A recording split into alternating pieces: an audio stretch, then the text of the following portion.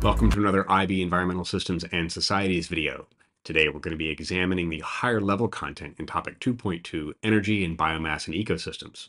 Let's get into it. First, we're going to explore how organisms acquire carbon compounds, which raises interesting questions about resource use in ecosystems. All living organisms can be classified as either autotrophs or heterotrophs. Autotrophs are the self-feeders. They synthesize carbon compounds from inorganic sources and other elements. Heterotrophs, on the other hand, they have to obtain their carbon compounds from other organisms. This fundamental division shapes how energy and resources flow through every ecosystem. Within the autotrophs, we have two distinct strategies. Photoautotrophs, like plants, use light as their external energy source for photosynthesis. Photo means light.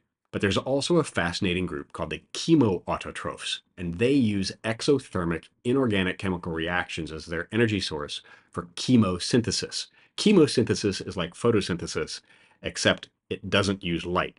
It uses those exothermic inorganic chemical reactions in a similar process to produce energy containing compounds or biomass. These chemosynthetic organisms are often found in deep sea hydrothermal vents and they demonstrate how life can thrive in seemingly inhospitable environments without relying on sunlight. This diversity of strategies raises important questions about how we value different types of ecosystems. Primary productivity measures the rate at which biomass is produced using external energy sources and inorganic materials. We measure productivity in units like kilos of carbon per square meter per year. Understanding primary productivity is essential for making ethical decisions about resource management.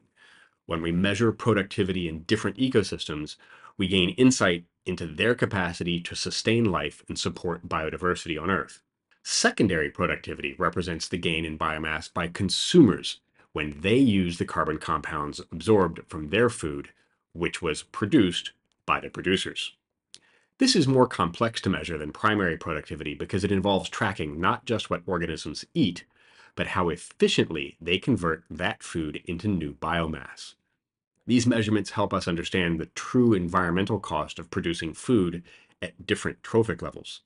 Net primary productivity forms the foundation of food chains because it represents the quantity of carbon compounds sustainably available to primary consumers.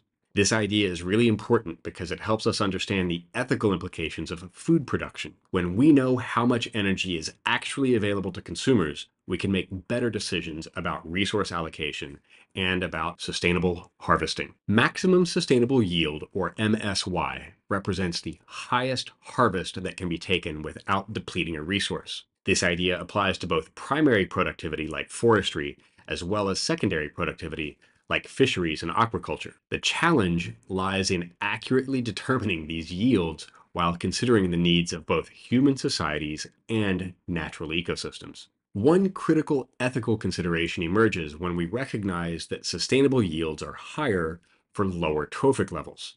This scientific fact has profound implications for food security and environmental justice it's generally more efficient and sustainable to consume organisms from lower trophic levels, particularly plant-based foods. This should inform some of our decisions about global food production systems.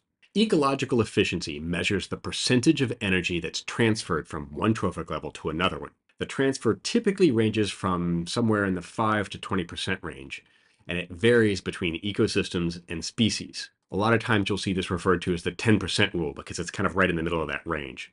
When we understand these efficiency rates, that helps us evaluate the environmental impact of different food production methods, and it helps us make more ethical choices about resource use. Finally, the second law of thermodynamics shows us how entropy, or disorder, increases as biomass passes through ecosystems. This principle helps explain why some resource use patterns are inherently unsustainable. Living systems can maintain their organization only by increasing entropy elsewhere in the system. And that has implications for how we think about ecosystem management and resource conservation. These ideas help us understand both the scientific principles that govern the movement of energy and biomass in ecosystems, as well as the ethical considerations we have to weigh when we make decisions about how we use resources and how we produce our food. When we combine what we know about ecosystem energetics with ethical reasoning, we can work towards more sustainable and more equitable resource management practices, and particularly when it comes to agriculture and aquaculture. I hope you found this video helpful, and until next time, happy learning.